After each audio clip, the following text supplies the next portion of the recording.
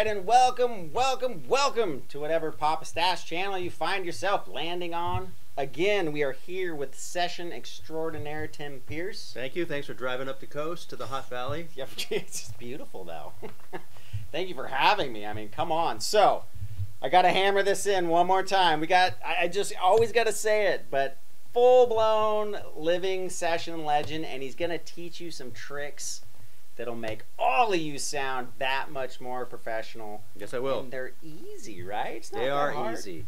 And it's, simple, like simple stuff. one Really of those is. things you can use over, you know, a bunch of different styles, right? Right. That's right. Two different styles in this particular Yes. uh, concept we're A doing. twofer. Two. All right, so also check out Tim's links down below. He's got some amazing channels, awesome stuff. Check it out Thank you. for sure. It shows him like in the session, just doing some amazing. I mean, just Yeah, I've got some sessions, some lessons, some other stuff. Please, yeah, if you check it out. all right. Let's get to it. So what we're showing here is by playing rhythm fills over a G chord, a D chord, and a C chord, we can make it sound rock and country, and then with a slight shift in our touch and the sound of the guitar, we can make it sound 60s and mellow and Motown and soul and R&B with literally the same kind of stuff, just a couple of tweaks. We have a radical shift in genre so works out really well. Uh, the way I started this thing was with a G chord. And I've got the treble pickup on so it's making the amp squawk and it's kind of got a country kind of stonesy sound. And I'm, I'm hitting the guitar hard too. I like to use kind of a soft pick sometimes because I, I have a tendency to strike too hard and it kind of it kind of it kind of keeps me honest so our first riff is um, over over a G chord, and I hit the G chord. I just pluck the bottom of it, and then I strike the top of it. And you know, your left hand is here on the third string of the third fret, going across all six strings, and then we take this kind of E shape and we make our G bar chord. Two fingers are on the fifth fret, fourth and fifth strings, and then the third one is here on the third string on the uh, the fourth fret. And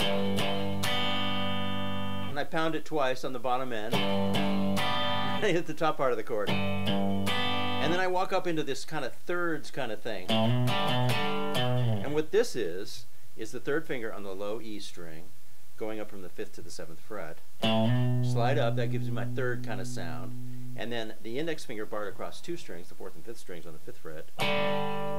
And then I toggle between those two. So, one more time.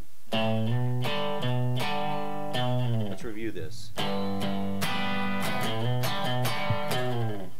And with the right hand, I do this little pickup. This little quick pickup that gives it kind of a snappy sound. And then I move on to the D chord, which is index finger, fifth string, fifth fret, and then the bar of the third finger across the second, third, and fourth strings on the seventh fret. And I do the same kind of strike with my right hand, like two downstrokes on the low string, and then a big strike on the three strings. And then I do kind of a, uh, a repetitive thing, which is a double stop again. So I take my index finger on the seventh fret, on the second and third string, and I bar across those two, and then I just hammer with the third finger on one of the strings. It's the third string up to the ninth fret. So that's a really pretty kind of rock, country, or R&B thing, depending on how your tone is. So I hit that, and then I go to the next string over, and I hit it again, and I've just toggled over, doing a double stop, from the second and third string to the uh, third and fourth string. And I do exactly the same thing. So I repeat. And then I take it over to the fourth and, and fifth string one more time. So let's review that. And that can either be rock or country. They're kind of both the same at this point. And then I finish out this phrase by staying here Once again, my index finger is on the fourth and fifth strings uh, on the seventh fret, and I do a hammer-on pull-off to finish out the phrase, and I take my little finger and hit this high D note here, which is on the sixth string on the tenth fret. So that last piece of this phrase is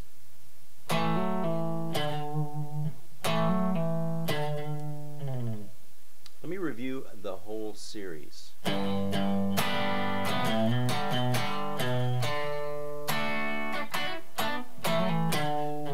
going to do it really slow. G chord.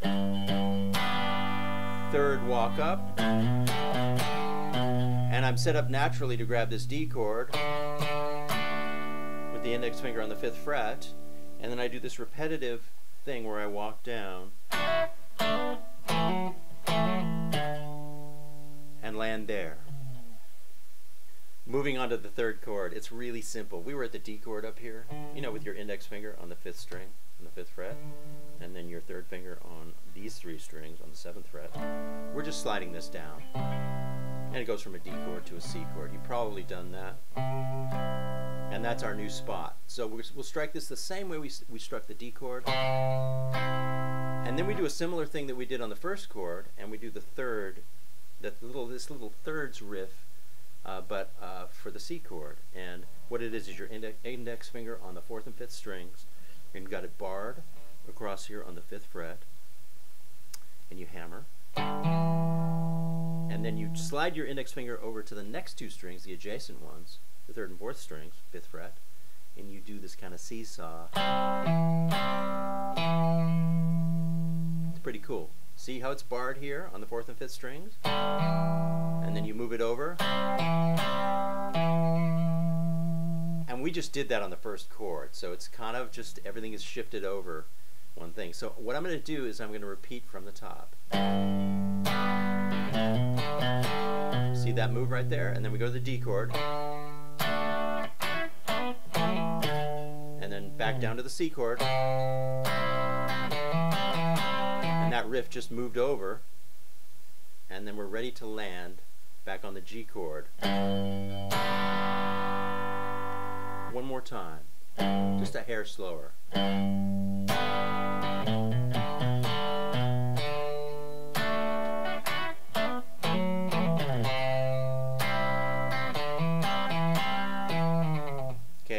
to finish out the phrase. I play a G chord that's really simple. It's just two notes. What? Two fingers. It's not two notes it's two fingers. It's my third finger on the low E string at the third fret and then it's my little finger on the first string at the third fret. And I'm using the flesh of the third finger to mute the A string. So I'm getting a Keith Richardsy kind of Stonesy five note chord. I love the way, the way that one sounds literally I've got a dead string but nobody knows it because the flesh of this finger is blocking it I strike that and this phrase is pretty cool. I walk up, it's kind of country, a little bit rock too. I use the open strings, the second and third string, and I do a hammer on with my second finger, the second fret, and then my first finger on the first fret, and I hammer on. Which is a really cool thing. And then I slide it up, and I slide it back down, and I pull off both of these strings, which I'm not picking,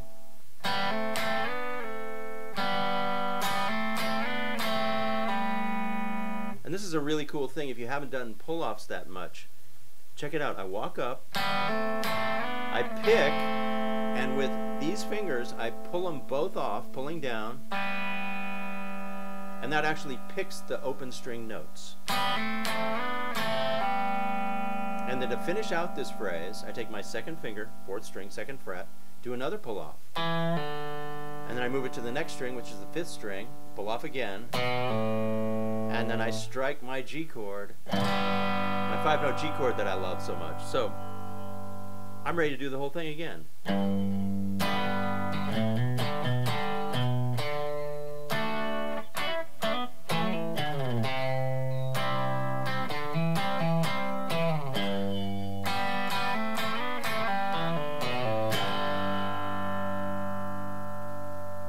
Okay, so the way I did the second half of this and turned it into a 60s soul R&B mellow thing is I switched the pickup from the treble pickup which has that more brash tone. I switched it to the neck pickup. And I kind of did it on the fly. I struck the G chord. And then I simply started again, but with a softer touch. Playing staccato.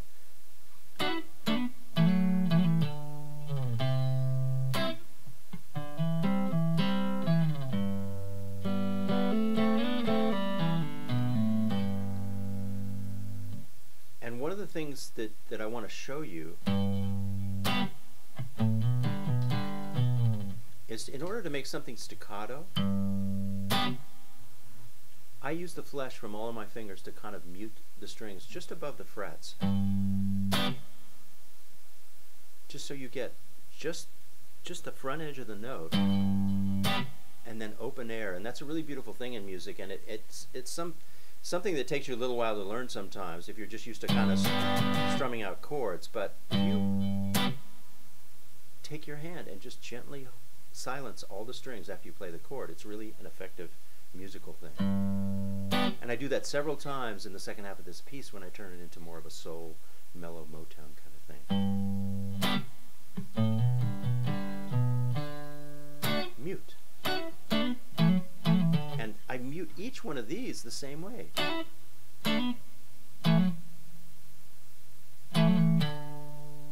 So you play the, the phrase that we learned, and you're just using your hand, whatever string, whatever fingers are available, gently on top of the, the, the actual strings just to mute the sound. Come back down here on the C chord, mute,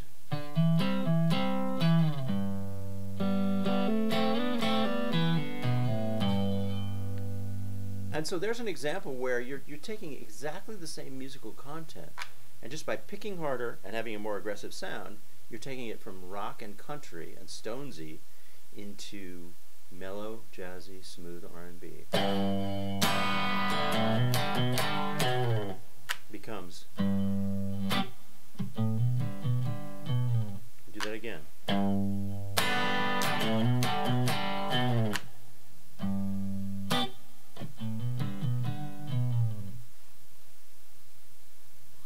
And if you really like the R&B style stuff, which uh, I really do, um, a lot of guitar players do, I'll show you a couple more licks that are in the key of G. Um, let's go up here, kind of to the top of the neck a little bit, and we're gonna we're gonna kind of use this G chord as our the basis of what we're looking at.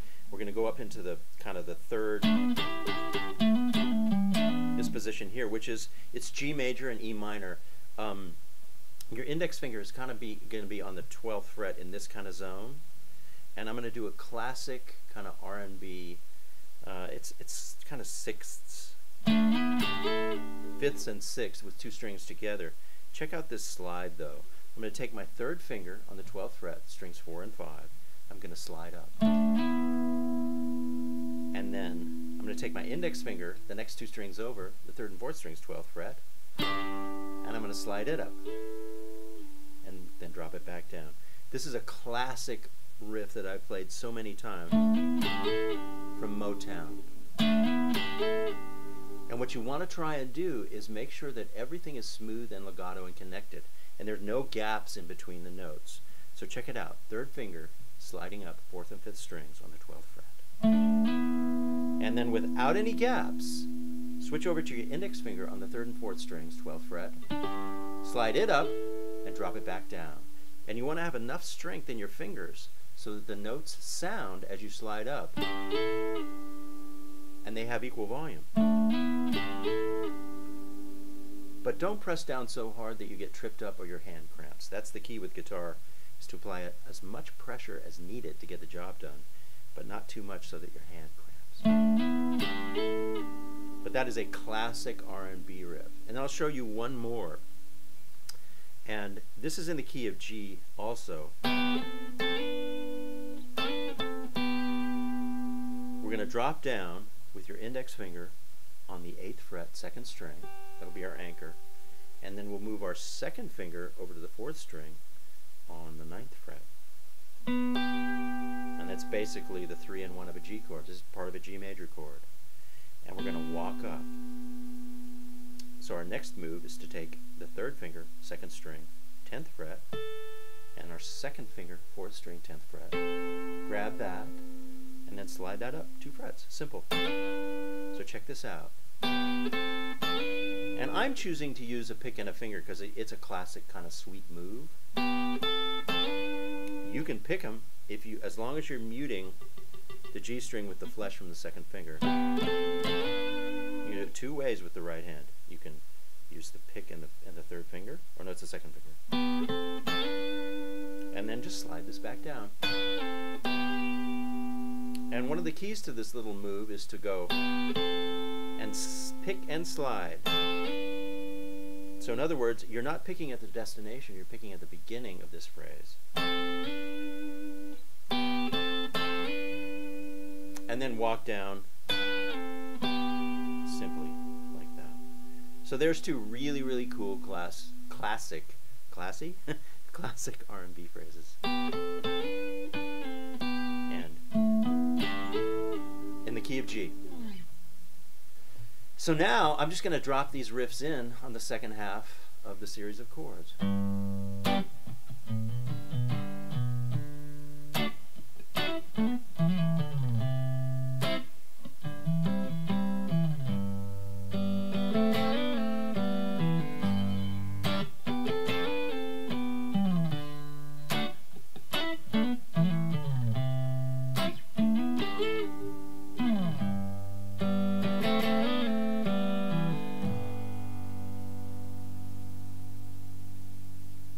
Yes. Now, was that not freaking awesome? I mean, thank you. You're welcome. I mean, you just you got it down. He's my hero. If you Been guys doing- haven't been found doing it a out. when I grow up, I want to be Tim. Awesome. Yeah, you were seven and I was 19 when that particular record came out. so Exactly. you are younger. Exactly. Got a few years to go, Yeah. young man. Yeah, thank you, thank you, thank you. See, that's the, all the excuse that I needed. I have more years to go. Yes. So check out Tim stuff again down below. I watch it all the time. It's amazing, and and just you get to see how music's made, and and how a man like Tim actually is a lot of what you're hearing in the background. So Thank check that out. Thank you as always for joining the family here. There's like 130,000 of you now on all the channels. Check out the channels over That's there impressive. too. No, you're impressive. All right, I'll catch you next time.